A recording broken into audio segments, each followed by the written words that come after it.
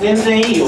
話って何？あの実は好きです。付き合ってください。こっちから言いたかったな。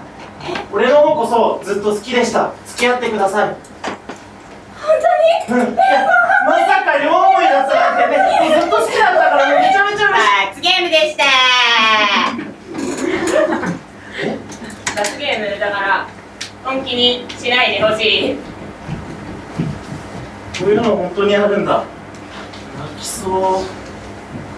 平野くん。あ何？とどめ刺しに来た違うの。さっきはみんなにやるやる言われて断れなくて。のもういいから。でも私にとっては罰ゲームでも何でもないっていうかその。好え？どういうこと？きです。付き合ってとは言わないあんなひどいことしちゃって。でも本当の気持ちだけはどうしてもちゃんと伝えたくて。あのそれもう大丈夫だよ。さっきはしょうがなかったんでしょ？改めて俺と付き合ってください。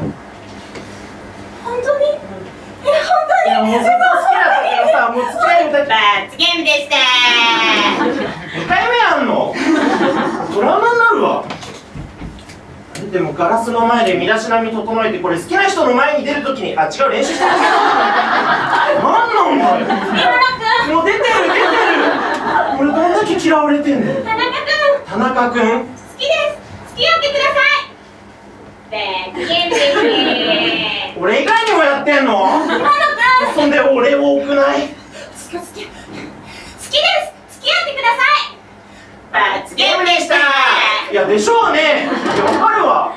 どんだけなの？平野くん。はい。何これ？呼んでほしいの。ラブレーター？いやこれは何？どういうこと？で通っただけ？何見せられてんの？もういよいよ。みんなみんなちょっと。みんな？肩甲骨から。肩甲骨からね。あとこっちちょグッとだ指導を受けてるやつがいいじゃん。えみんなでやられんの？俺。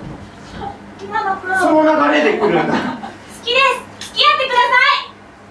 罰ゲームでした見てたえはずいはずいはずいはずい。偽物になってるから俺。はずいなもう。平野くんあのもうもう本当のこと言う本当のこと好きです付き合ってくださいいや本当ならお願いします。やったー！え？罰ゲーム？これからよろしくお願いします。あなんかよくわかんないけど付き合えた